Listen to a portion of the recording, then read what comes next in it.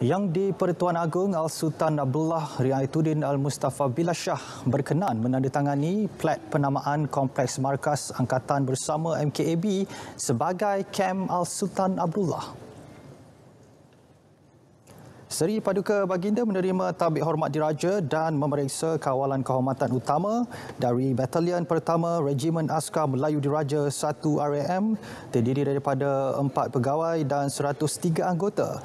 Al-Sultan Abdullah turut dipersembahkan gimik pelancaran melibatkan pegawai dan anggota bahagian operasi pasukan khas pertahanan 1 Kor Armor Diraja, 12 Regimen Askar Melayu Diraja Mekanizi, 4 Skuadron Semboyan Brigade dan Skuadron Skuadron Tentera Udara Diraja Malaysia.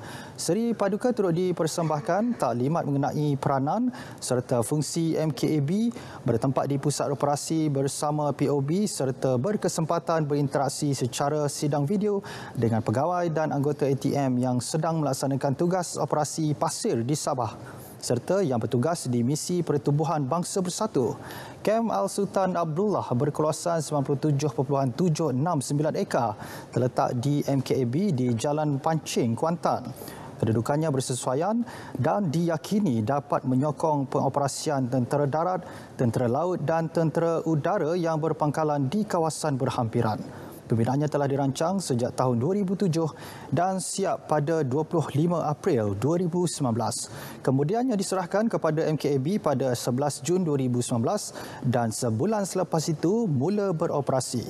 KEM menempatkan lebih 300 pegawai dan anggota pelbagai peringkat dari ketiga-tiga cabang perkhidmatan ATM.